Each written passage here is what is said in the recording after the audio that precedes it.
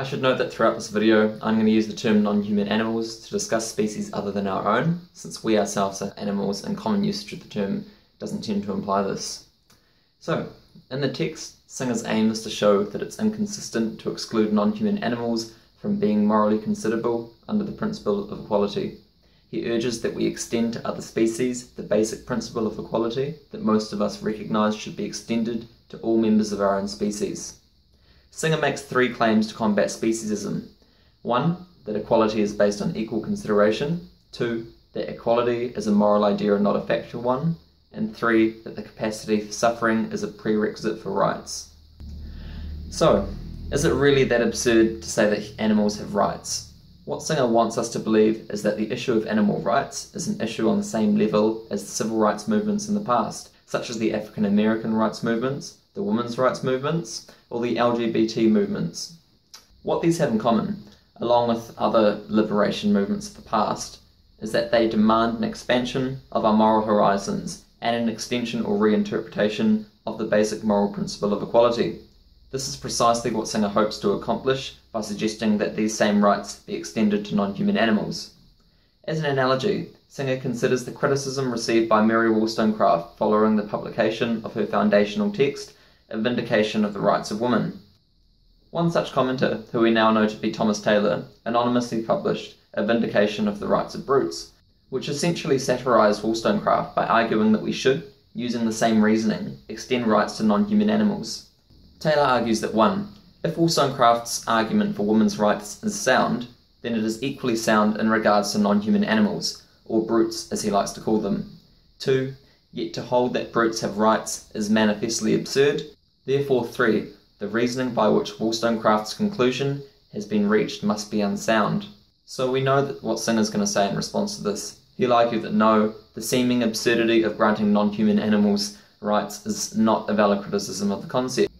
One might of course object to this, and say somewhat fairly that it would be absurd to grant equal rights to humans and other species, since it would then seem to imply that all of a sudden pigs have the rights to vote or to drive automobiles. Singer concedes with this objection, though only up to a point. Yes, it is true that there are important differences between humans and other species, and these differences warrant different rights, uh, just as the difference between men and women warrant different rights. We wouldn't offer abortion services to men, for example. This is because an equality of rights is not a sameness of rights. The basic principle of equality, Singer argues, is equality of consideration, and equal consideration for different beings may lead to different treatment and different rights. This is the first of his claims against speciesism. Singer's second claim is that equality is a moral ideal and not a factual one. If we are to base equality on the factual differences between humans and non-human animals, then it would seem as if every human has to be the same, which is obviously not true. Still, you could change the argument to say that humans are, on average, the same, uh, but if we do this, then it must be the case that all groups under the umbrella of humankind are factually the same, which is itself a highly debated issue. This would mean that men and women are the same in all relevant respects, uh, as are many races. The problem with this is that even if it were true, it would allow for the possibility of discrimination if such differences were to emerge, and this could be then used to justify a hierarchical society. But equality does not depend on intelligence, moral capacity, physical strength, or other simple matters of fact. Equality is a moral ideal and not a simple assertion of fact. So if equality isn't based on the factual differences between human beings, then how can we say who gets it? Only beings that are morally considerable, Singer argues, beings who have interests. And how can we tell which beings have interest? To answer this, Singer quotes Jeremy Bentham. The question is not can they reason, nor can they talk, but can they suffer? A stone, for instance, doesn't have interests precisely due to its inability to suffer. Conversely, a mouse has an active interest in not being harmed, as do all other creatures with a capacity of suffering. Therefore, it seems as if suffering is a prerequisite for having rights. The principle of equality which Singer cites is that each to count for one and none for more than one. As we've already discussed, this seems to be a more plausible basis for opposing racism and sexism, as it doesn't seem to rely on a factual equality of circumstances. We can use the same reasoning against speciesism. It is the fact that these isms unjustifiably give precedence to one group over others which causes their violation of the principle of equality. They argue that there is a reason for members of their group to count for two rather than for one, in Bentham's terms, uh, despite their equal moral standing. So, let's go over Singer's argument against speciesism. Premise 1. If beings are capable of suffering, then they have interests. Premise 2. Human beings and many non human animals are capable of suffering. Conclusion 1.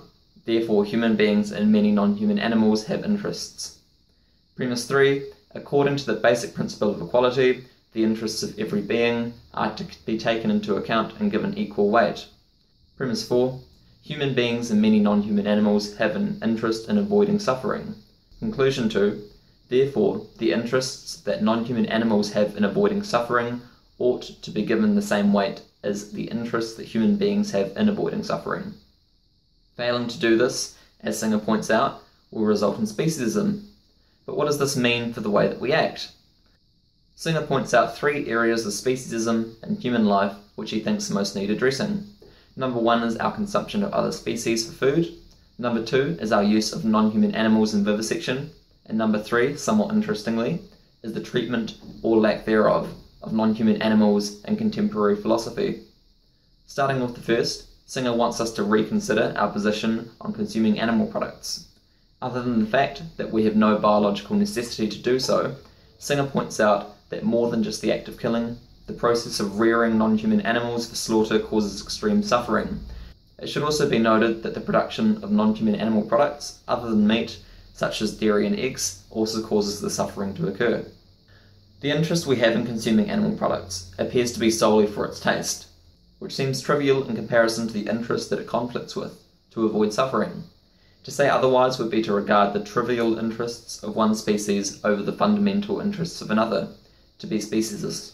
To avoid speciesism, Singer implores us to stop this practice. More than that, he claims that each of us has a moral obligation to cease supporting this practice. Coming to the issue of vivisection, we might ask Singer whether or not he would object to our use of non human animals in vivisection if it meant saving thousands of human lives. This, of course, assumes that all instances of vivisection occur under absolutist conditions, which they don't. Nonetheless, Singer would not object to this thought experiment, but perhaps a better question would be to ask the experimenter how they felt about substituting a child in the place of the animal. If they object where that did not before, then it is clear that they exhibit a bias towards their own species. To be consistent with their defence, Singer argues that the experimenter must be prepared to vivisect humans in the experiment, as well as non human animals. The third issue which Singer discusses is the disregard of moral standing for non human animals in contemporary philosophy. Singer sees this as a problem because it is considered to be the aim of philosophy for it to question the basic assumptions of our age, and by failing to address the issue of animal rights, philosophy seems to have become a practice of no more than sophisticated defence, rather than self reflection. Singer is also clear that the problem is not that philosophers disagree with Singer's argument, but merely that they do not recognise animal rights as being an issue worth discussing in the first place. So, in addition to some of the objections which we've already considered in our discussion, Singer considers the following from William Frankena, who argues that all men are to be treated as equals because they are human. They are human because they have emotions and desires, are able to think, and hence are capable of enjoying a good life in a sense in which other animals are not. In response to this, Singer asks Frankena to point out what the supposed capacity is, which is present in human, yet not in other species. Even supposing that non human animals are unable to think, it is unclear how this restricts them from living the good life, as he says. Another possible objection, somewhat building upon Frankena's, suggests that for a being to have rights, they must have certain properties. For example, they must be autonomous or rational, a member of a community, or be able to respect the rights of others. Since non human animals lack these properties, it is said that they lack these rights. Such properties, according to Singer, are little more than gobbledygook, utter nonsense. When faced with their potential moral equivalents with non human animals, philosophers tend to waffle. They resort to high sounding phrases like the intrinsic dignity of the human individual, as if we, humans, had some worth that other beings did not. Attempts at this, he says, are nothing more than attempts at creating excuses for a problem which these philosophers refuse to acknowledge. Furthermore to this, we might imagine cases in which humans do not possess these distinctly human capacities.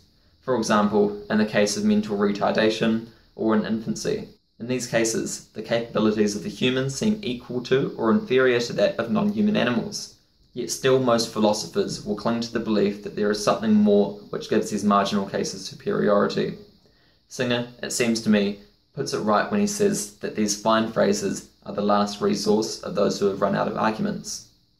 So, in conclusion, Singer hopes to have convinced the reader to recognise and oppose their potential prejudice towards other species.